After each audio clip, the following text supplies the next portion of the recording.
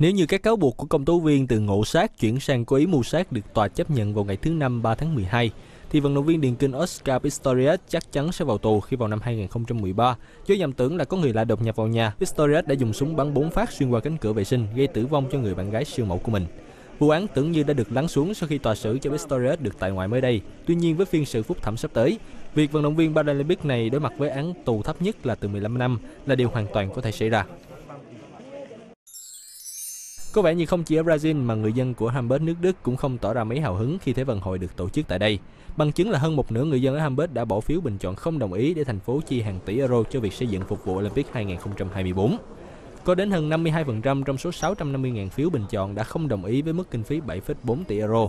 Đây cũng là thất bại trong việc bầu đăng cai Thế vận hội thứ hai liên tiếp của Đức sau lần tranh cử tổ chức Thế vận hội mùa đông 2022 tại Munich vào năm 2013. Sau khi Hamburg rút ra, cuộc tranh cử tiếp tục được diễn ra giữa các thành phố lớn như Paris, Los Angeles, Budapest và Rome. Và Ủy ban Olympic quốc tế có thể sẽ công bố quyết định cuối cùng vào năm 2017. Hoàng tử Harry của Anh đã có chuyến thăm và giao lưu với các trẻ em ở Cape Town, Nam Phi vào ngày thứ Hai cuối tháng 11 vừa qua. Hoàng tử đã cùng các em nhỏ chơi đá bóng, bên cạnh đó cũng tuyên truyền và hướng dẫn các em về nhận thức HIVS. Đây cũng là một điểm đến trong chuyến hành trình từ thiện của anh tại Nam Phi.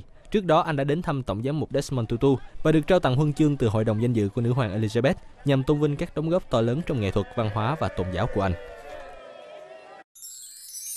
Các tập đoàn tại Trung Quốc đang cố gắng thương lượng để mua được 13% cổ phần của câu lạc bộ Manchester City với mức giá 400 triệu đô la Mỹ nhằm đẩy mạnh sự tham gia về tài chính thể thao của nước này trên thế giới. Các tập đoàn gồm Trung tâm Truyền thông Trung Quốc, tập đoàn Citic đã công bố thỏa thuận này vào thứ Ba ngày 1 tháng 12 vừa qua. Theo ước tính hiện nay, tổng giá trị của Manchester City đã lên đến 3 tỷ đô la Mỹ.